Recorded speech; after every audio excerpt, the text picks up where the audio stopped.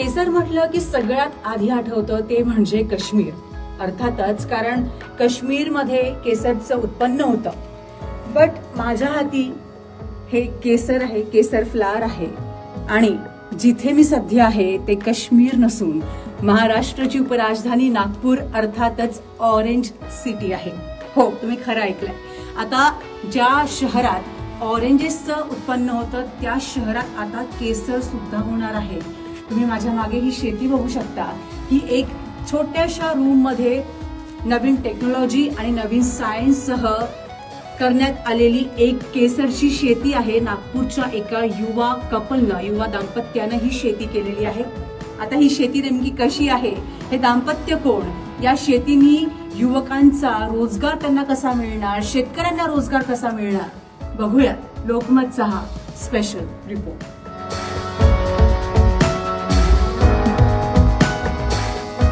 new technology new science चार by चारची एक बंद खोली. आणि या युवा कपलने ते करून दाखवलंय ज्याचा कदाचितच कोणी विचार केला असेल. या तरुण दाम्पत्याने चक्क केशरची शेती फुलवली आहे. अवघ्या पाच महिन्यात केशर शेतीच्या माध्यमातून या तरुण दाम्पत्याला तब्बल आठ लाख रुपये किमतीच्या दीड ते दोन किलो केशरचे उत्पादन अपेक्षित आहे. सध्या दीड महिन्याच्या कालावधीत अर्धा किलो केशरचे उत्पादन त्यांनी मिळविले आहे.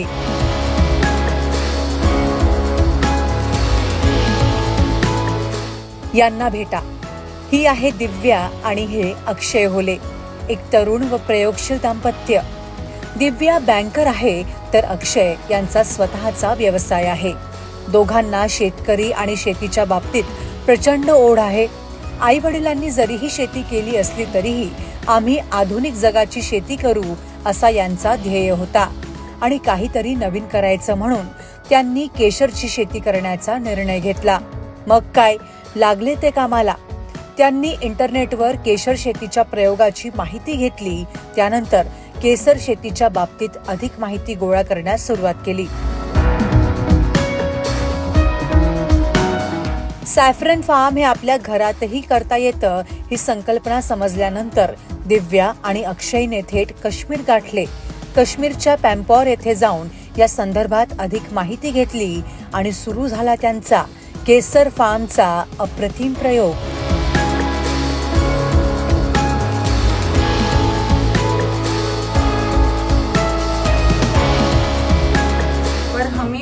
और करना था और हमें जगह की बचत भी करनी थी और साथ ही में हमारे जो रोज़मर्रा के काम है रेगुलर रूटीन वर्क है, उसी के साथ साथ हमें खेती करनी थी। इसीलिए हमने ये बहुत सर्चिंग के बाद, एक से डेढ़ साल के रिसर्च के बाद हमने ये प्रोजेक्ट लॉन्च किया।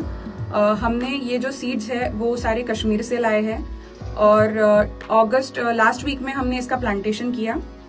दो महीने के बाद थर्टियथ अक्टूबर को इसका फ़र्स्ट फ्लावरिंग आया है। और अभी ऑलरेडी हम हार्वेस्ट कर चुके हैं फ्लावर्स और अभी हम, ये रेगुलर वर्क है, हर दो दिन बाद इसमें फ्लारिंग आती है और दिसंबर एंड तक के फ्लारिंग इसमें रहेगी। ये जो भी फ्लावर्स आप देख पा रहे हैं, ये इसमें से ही केसर निकलता है। और हमने यहाँ पे पूरे जो ये रूम है, ये 80 स्क्वायर फीट का रूम है। कुछ इक्विपमेंट्स की हेल्प लेके हमने यहाँ पे कश्मीर जैसा कंट्रोल्ड एनवायरनमेंट बनाया है और हमने इनका प्लांटेशन किया है। वी वी आर एक्सपेक्टिंग कि हम ये छोटे से रूम में से डेढ़ किलो के अप्रॉक्स केसर निकाल लें। और हमें इसकी जो लागत है, जो पहले साल हमें लगी है which is only one time investment जिसमें ये सीड्स ट्रेस रैक्स और कुछ इक्विपमेंट्स हैं, ये टोटली हमें लगे हैं 7.5 लाख के। डेढ़ किलो केसर की कीमत अप्रॉक्सीमेटली आठ, साढ़े आठ लाख के आसपास जाएगी। ये सीड्स मिट्टी में डालने के बाद नेक्स्ट ईयर से ये पाँच से साल तक सात साल तक हमें उत्पन्न देते रहेगा। तो जो भी खर्चा है, वो हमें सिर्फ़ इसी साल लगा है।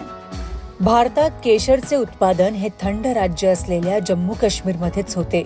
केसरची शेती करण्यासाठी वातावरण फार थंड असावं लागतं. मात्र आता ऑरेंज सिटी अशी ओळख असलेल्या अतिउष्ण नागपुरात देखील केसर शेती शक्य झाली आहे एरोपॉनिक्स तंत्रज्ञानाच्या मदतीने बंद खोलीत केसर लागवडीचा यशस्वी प्रयोग करण्यात आलाय.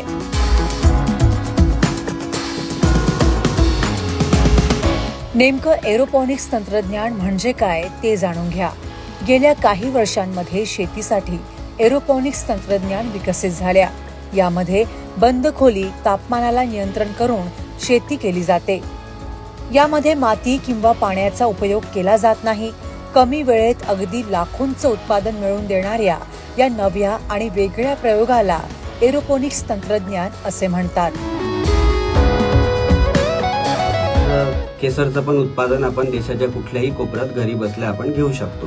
तर याच्याकरता आम्ही ही जी पद्धत आहे याचं नाव आहे एरोपोनिक्स. याच्या प- या पद्धतीने आम्ही याचं उत्पादन घेतलेलं आहे. आणि जे आपल्या विदर्भामध्ये जे शेतकरी आत्महत्या करतात आहे किंवा जो युथचा प्रॉब्लेम आहे की काय बिझनेस करावा आणि कुठनं प्रॉफिट कमवावं या सगळ्यांचं सोल्युशन आहे की आपण ह्या इफिशियंट पद्धतीने जे आपण प्रोडक्शन घेतो आहे या पद्धतीने जर याचं एज्युकेशन त्यांना देण्यात आलं आणि त्यांना ही पद्धत जर शिकवण्यात आली तर फक्त केसरच नाही तर इतर पण भरपूर प्रोडक्ट्स आहेत इतर भरपूर भाजीपाला किंवा अजून काही वस्तू आहेत ज्यांचं प्रोडक्शन आपण एरोपोनिक्स आणि हायड्रोपोनिक्स तकनिकनी आपण घेऊ शकतो आपल्या घरामध्ये.